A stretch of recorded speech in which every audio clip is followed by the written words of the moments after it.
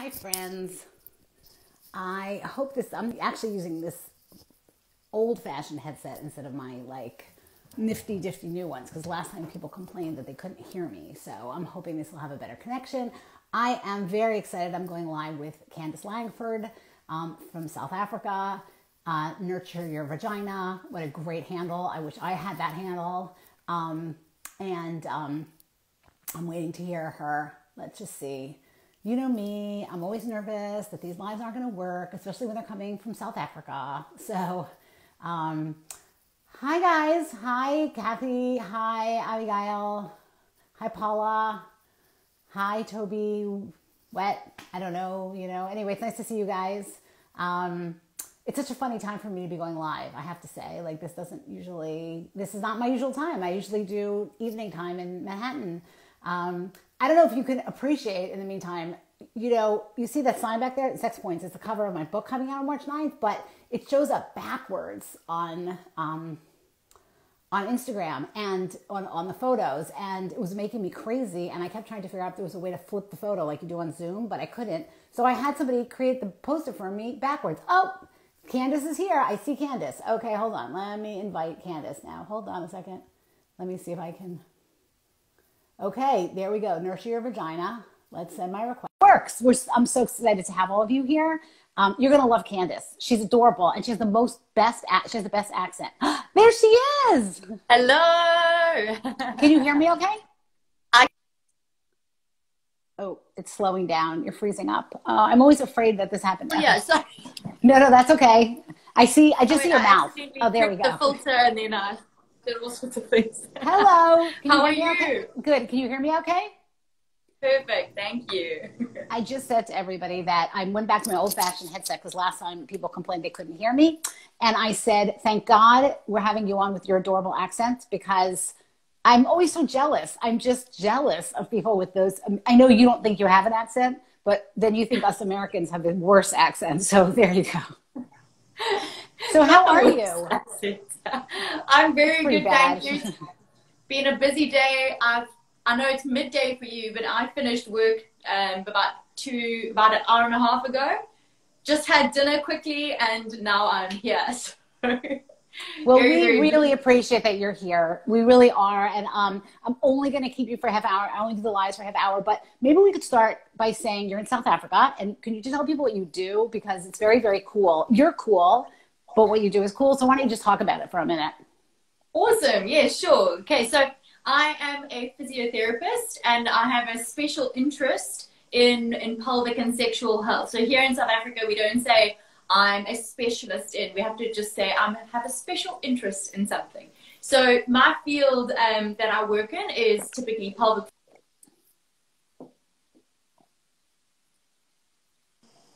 What have I done? I'm I don't know. Okay, there you go. Yes, you said, Sorry. here's what we got. We got that you, your field that you work in is typically, that's what you said. Yeah, so so my field that the field that I work in within the within physiotherapy is pelvic floor dysfunction and sexual dysfunction, um, and I mean that's it might sound like a niche within a niche, um, but it is quite a broad field, and I'm sure that you know that in the pelvic health world we are assessing all sorts of things from your menstrual cycle to your breathing patterns, to your movement patterns, and really just trying to use our neuromusculoskeletal knowledge as physiotherapists to to best facilitate um, rehabilitation or improve quality of life when it comes to your your sexual function. Um, What So made you, what made you, what made you develop this special interest? like um, what made sure, you, so- as a general physiotherapist, what made you decide, oh my God, I, this is what I want to be doing? Yeah, so I actually I actually studied um, something else before. I studied marine biology and ecology. I did a double major at UCT in Cape Town. Oh my God, I had no idea. Can I have you back again live to talk about whales or something? Okay. We can, but it was a very long time ago, so I don't know how much I remember. Um, but I can can try. Um, so I in that in that field, I developed quite an interest in um, reproductive health, and that was kind of where I was focusing. And just life circumstances, I ended up finishing that degree and then studying physiotherapy straight afterwards. And as in in our physiotherapy studies, we don't do a lot of pelvic health. We do about three weeks, and in those three weeks, we probably do like three, four lectures. And those are my absolute favorite lectures of the entire degree. So as why, as why finished, do you think that was? I think I had a really already developed this interest in um, in in sexual behavior, reproductive behavior, and when I started hearing that and learning a little bit about it within um, um, humans as opposed to animals. I was going to um, say, I just, the animal biology piece had a piece of this too. As I'm listening to you, this is great trajectory. Uh huh. Go on. Sure. Yeah. So it just, I just, it was so captivating, and I realized how little I knew and how little the people around me knew. And uh, it, it disturbed me that it was so taboo. And in the class, you know, um, people would be giggling and laughing and, and not paying attention because it was just not not because they weren't interested, but I think it comes from a place of a place of fear and a place of lack of knowing and not knowing, you know, what do I do with this awkward information? She just said sphincter, you know. So that that also captured me and this this lack of information and how taboo it was just made me want to find out more, made me want to dig deeper. And the more I did dig deeper, because it's such a growing field and we, we have this new information made available to us all the time, it's just, it's, I, it's just so attractive. How could anyone not want to be in this field? That's amazing. I'm, and I think you're really hitting on something because, um, so I run a women's sexual health center, but I also on the administrative side run the men's center and the one place where I feel like the women's sexual health is running ahead of the men's sexual health, which is fascinating to me, is in pelvic floor physical therapy because I, would think maybe it was five years. I don't know how long we've been doing this, but it feels to me like maybe five to ten years ago is when the world of women's health pelvic floor physical therapy kind of opened its eyes to how much of an impact this has on women. And I feel like just now it's starting with men also. And I wonder and we're going to go a little afield, but I wonder if this has so much to do with us sitting all day and on computers all day, not just COVID related, but just our lifestyles, just because I know you're into yoga as well. So maybe you can speak to that a little bit. Yeah, absolutely. So, um, not, not everyone, but a, a number of times a day, I'm assessing the way a person sits and I'm not, I'm not a big advocate for the perfect posture but I do take note of the amount of hours we, we spend in a certain posture. So one of those things is sitting. And when we sit on our pole, uh, when we sit, and if we're sitting slumped down and we're on our coccyx, what it does, it takes your whole pelvis into a posterior pelvic tilt, brings your coccyx for, um, forward and almost shortens your pelvic floor. So now we've got this tension in a seated position for however many hours a day, and then those people have to stand up and they're stuck in this posterior pelvic tilt. They're stuck with a tight pelvic floor. They might be crossing their legs through the day and they've got lot, a lot of tension. And all of that's going to now impact your pelvic function when you, for example, want to sit on the loo and now all of a sudden relax your pelvic floor to pass a stool or relax in order to allow for penetration or reduce discomfort with penetration, for example. So Sitting, absolutely. We need to sit on our sit bones and not our coccyx. I'm shift. I shifted as we spoke. I mean, I, I'm, I'm like, I also feel like I got a standing desk because I started realizing how much I'm spending my life sitting and how detrimental that is. So I don't know if South Africa's big on standing desks, but I feel like everybody I know in the United States is starting to get them not huge. Uh, I see and hear of them every now and then, but I mean they are around. But I haven't really seen very many people using them to be to be. I'm honest. so curious of the people listening now. I'm curious if any of you have standing desks. I, I, feel like it has changed my life, and not only that, but I got one on wheels. So I can turn it to face the window as opposed to the wall. Whatever. Anyway, sorry, just doing a little ad for standing desks. So, can I ask you a question? Do you we we see tons and tons of vaginismus? Like I feel like we're vaginism central, and um, I make jokes about that. And one of the reasons we're so good at it is because we have the medical people and we have the therapists working together. And I'm curious if you feel like lifestyle in any way. I mean, I'm always disabusing people of the idea that vaginismus has anything to do with sexual abuse because it's not related. It is just, it's, I feel like that's the worst um, stigma that these poor vaginismus patients walk through. Therapists will spend years trying to find out where their sexual abuse was. It's, but I feel like it has more to do with sort of, again, lifestyle, movement, how we have learned to. What do you think? I'm so curious on your opinion on this. Yeah, so uh, I, I absolutely agree. There's a, I mean, there's a stigma in itself just speaking about sex. So that that patient coming to you and saying sex is painful, and then when they know that the first question that you're going to ask is, you know, something about their sexual abuse, it's it, it's a huge problem, and it's something that we really need to be mindful about and and kind of trauma sensitive when we are speaking to these individuals because maybe they don't want to talk about it, or maybe it's not anything to do with sexual trauma and uh, yeah, there are so many factors. I mean, as a physiotherapist, I'm not, I'm not, a, I'm not a psychologist. I'm not looking at that that side of things. I'm not analyzing and helping that person process that trauma. I'm working with their body. I'm working with right now what physical adaptations that person has got or, or maladaptations that that person person might have that is contributing to that that um, experience of vaginismus. And none of those are with current, you know, sexual trauma. It's, it, it's with the way you stand, the way you walk, the way you clench. Are you are you a bum gripper? Do you grip your bum all day? I are love you that. A anxious? bum gripper. Do you clench your jaw? A bum gripper. That is great. A bum gripper is. Did you make that up? Because I feel like we should like. You should. I've heard it enough. Oh, I love I've heard it a number of times, but I mean, I don't know if there's a specific name for it. I, no, I, I love it. I feel like you should you should patent it. A bum gripper. Nurture your house. Bum glutes. Or, or no, the bum, but grum, bum gripper it's maybe. perfect. Okay, keep going. I'm sorry. Are you a bum gripper? I, I'm sorry. I, I made you go down that. I'm sorry. it's okay. Um, yeah, so there's so many things that we can look at an individual in what they are doing right now and how that is impacting their vaginismus right now. We're not, we, we might be, if there is a person with trauma in their past, yes, we are kind of we addressing the neuroplasticity and trying to create new neural pathways from that experience. But now we're addressing the now, and that's not current trauma typically. Um, but yeah, we could be looking at breathing, anxiety. Are you clenching your jaw? Do you, are you someone that you know has a lot of headaches? How's that impacting your breathing? Is your breathing impacting your pelvic floor?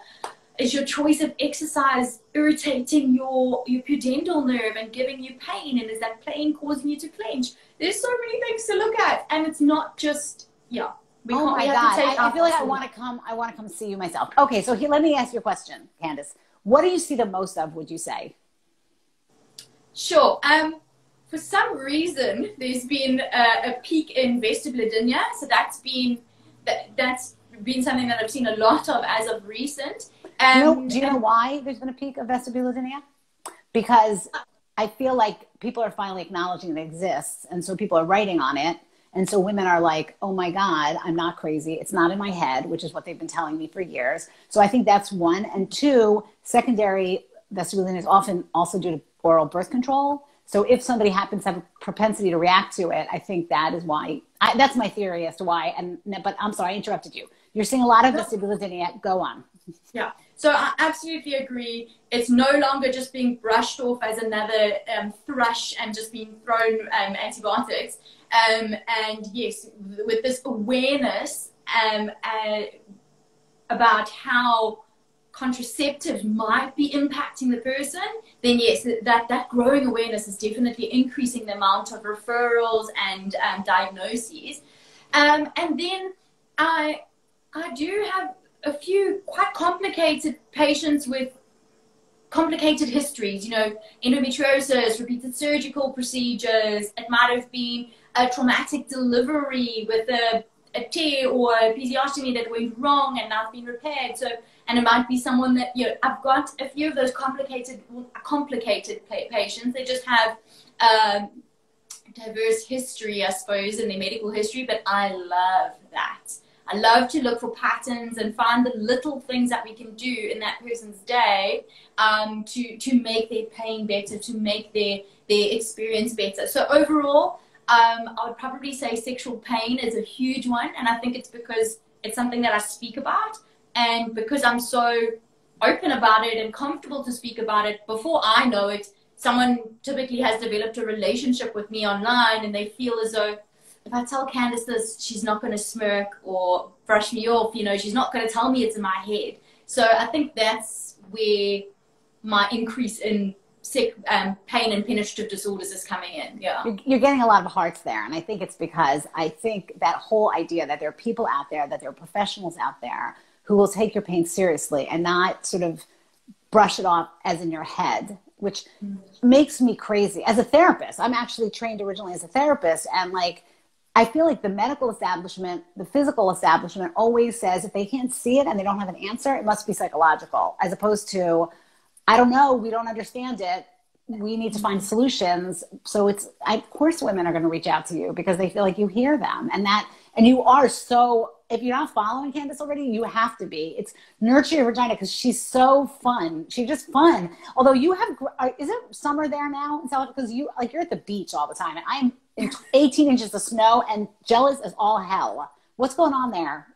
yeah, so we are in summer. It's February now. It is our hottest time. When I drove to work this morning, it was 36 degrees, but that's Celsius. I know you Fahrenheit, so I I wouldn't know how to how to convert. It's warm. And then now at 30 at at 5 p.m. it was 31 degrees. So it's hot. Okay, well, we're in snow here, and I wish I could come visit you for so many reasons. One of which is I would love to get out of the snow. So, um, so if you were giving women advice, like you were just saying, what are things women should do if they're not having pain right now if they're just you know trying to take care of their pelvic floor region what would be the most like practical comp you know advice you could sort of give women so I'm interrupting for one second because somebody just said they want us to talk about Bartholomew, Bar- Bartholin cysts when it comes to sexual health, I feel that issue and education about those issues are always left out. Do you have something you want to say about that, or? Yeah, I mean, i would be more than happy to. So okay, so why don't you spend a minute talking about that, and then I'll get back to you about what advice you would want to give women. Okay. Okay, cool, cool. So with regard to Bartholin cysts, it might be causing a few things. We might look at your aversion has caused an aversion, and and that's now impacted your your approach to intimacy in general. Has that impacted the way you see yourself? Has it impacted your body image? Because that we know body image has an impact on your sexual satisfaction. So we need to look at those things. How has that Bartholin cyst impacted your sexual experiences holistically? And then is it is there Can you pain? just explain to people who might not know what a Bartholin cyst is? Okay, sure. Yeah. So you've got a Bartholin's gland um, on your labia minora, almost like internal of them and that facilitates secretion of of um, lubrication or just moisturizing the labia minora and that vestibule region.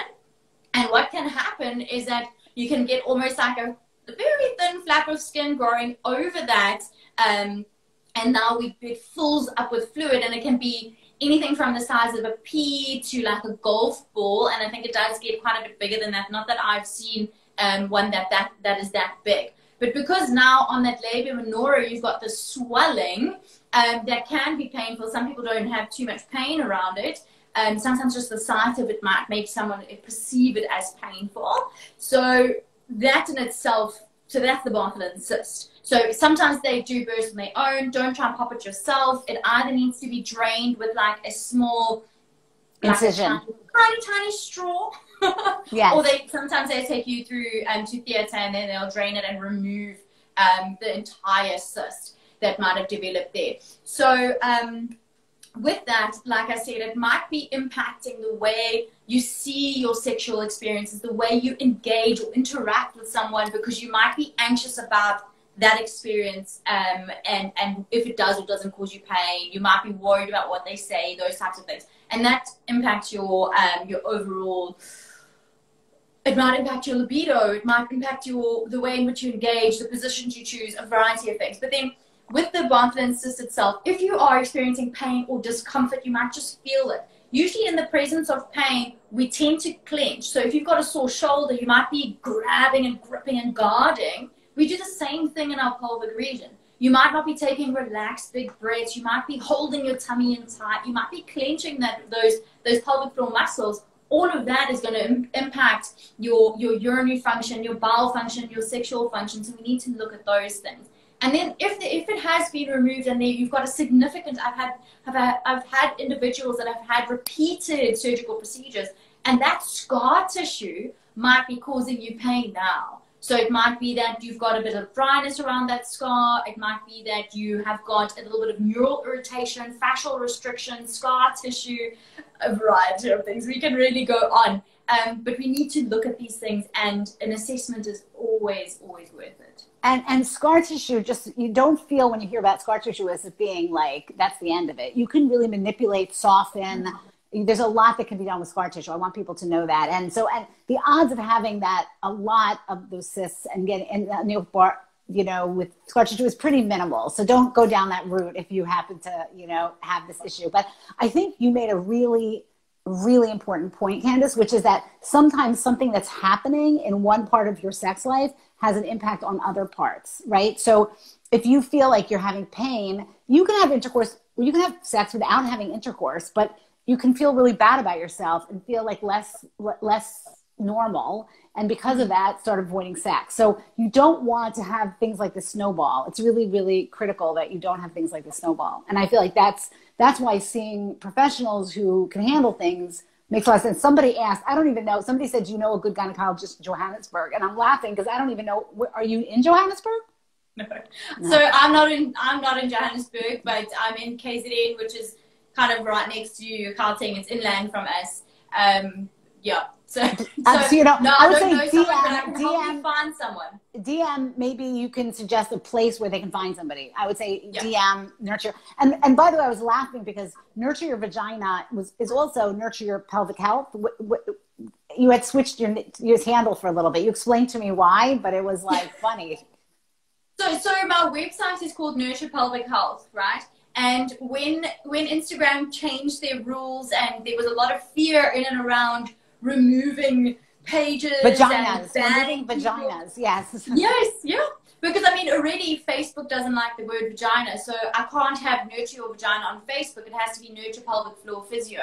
Um, so with with the two being aligned, I thought, oh my gosh, my page is definitely going to get targeted. Um, so I created another account to as like a backup account. I really did just kind of follow. I was a bit of a sheep. I just followed what everyone else was doing, um, because I wasn't sure what was going to come of this new this new rule that they implemented. But I seem to be doing fine. I haven't been shouted at yet, or no one's deleted me. no, you're, you're doing great. And I don't know about you, but I, I'm feeling a little enraged by the sex police because there's all of this stuff on that's misinformation, really um, very sort of specialized kink that is fine. I have no problem with it, but that's okay because it doesn't use words like penis and vagina and and those of us who are trying to do some sexual health are really getting, you know, int- like it's just. I was thrown off. I was thrown off TikTok. Oh sure. I've never uh, figured out TikTok, but Oh, I just had a. I just uh, the truth is, I have somebody helping me with social media, and she puts me on TikTok. I'm so she just put up this one with me pretending to knock on my kid's door and then realizing they're masturbating. Like obviously, there's nobody masturbating. Like it's just me. Anyway, it, it hit three million people, and I'm like, why do three million people want to watch this? I do not understand. But anyway, it's pretty funny. So, but I was really, I was thrown off of TikTok. So oh, trust gosh. me, I think you're smart for for doing what you did with Nurture Pelvic Health. But okay now we're going to get back to my other question because we have a few more minutes. If you were giving women advice, if you were giving women advice on like the best way to approach your pelvic floor, make friends with your pelvic floor, take care of your pelvic floor so that it will serve you in good stead, what would you say? I would say number one is education. So if anyone's listening to this, they are already they've taken a step in the right direction because it's that lack of education and the fear of the unknown that keeps us from exploring our sexual health, from seeking help from professionals, from digging deeper, from advocating for your sexual pleasure. So educating yourself is is definitely the place to start. And it might just be engaging, being part of the conversation, listening, looking at pictures, getting to know your anatomy. Um, that is that's always my number one. And then if there are any concerns, if the, if you're experiencing pain, if you just don't know, if you feel like something's wrong but you're not sure what it is, go and speak to someone. It you know it, nothing is too much for us. Nothing is over the top or information like overly sharing. I, I quite enjoy it when someone starts with that. I'm like, oh, tell me more. um, so so yeah, seek help, ask questions because people like us are passionate and eager and waiting to help you because we love what we do. So there's people available. Um, yeah. So when it, yeah, so no, yeah. Wait, I what were you about to say? No, no, no, absolutely. And I would love it if you would touch on because I do think this idea of like learning to like do certain yoga positions or just learning to sit in different positions. Like, you know, if you if you if you were talking to your best friend and you were saying to your best friend, like, here's what I would recommend, you know, like at least once or twice a week, you should, you know, sit down with your legs crossed or not, you know, like, you know, sit on the floor with your legs sticking out or, because I, I do think there's something about the way we, or stretch, make sure you're stretching your glutes or stretching your bum or stretching your, you know what I mean? Like, is there something where you feel like you could just say to women, this would be like a good, a good way to go. We should be doing yoga once a week or whatever. So three things. General exercise, it doesn't have to be specific to the pelvic floor. If you went for a walk three times a week or a jog, walk, jog, whatever it was, general exercise, you're going to be incorporating your pelvic floor. Then number two would be using breath work to uh, to your benefit. So nice, proper diaphragmatic breathing, making sure that you're able to almost meditate with it um, with regards to tuning into your body, checking in, doing body scans.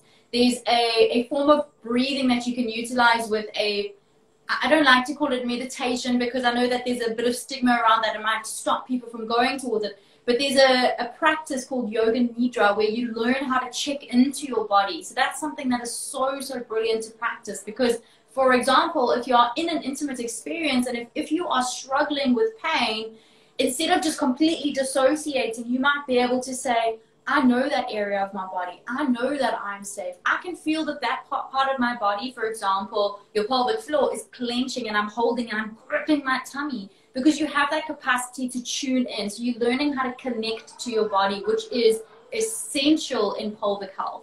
Then the third thing would be with regards to strengthening slash releasing pelvic floor. Please excuse, I think there's people playing outside. Um, Good so for them. might hear a bit of screaming and all sorts of thing going, things going on outside. They got a I'm jealous. Good Um, for them. Yeah. so even though it's pitch black outside, um, so then the third thing would be not not doing the you know typical Kegel, but rather practicing mobility routines. So mobility routines, it's not just flat out stretching, and it's not just it's not just high intensity work. It's mobility routines, learning to control your muscles through their full range of motion.